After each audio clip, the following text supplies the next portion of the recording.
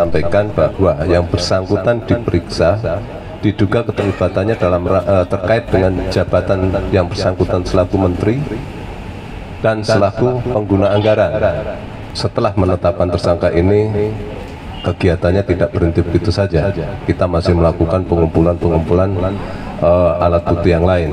Kita ingat peristiwa ini dana yang digulirkan proyek senilai 10 triliun sekian kerugian negaranya 8 triliun sekian.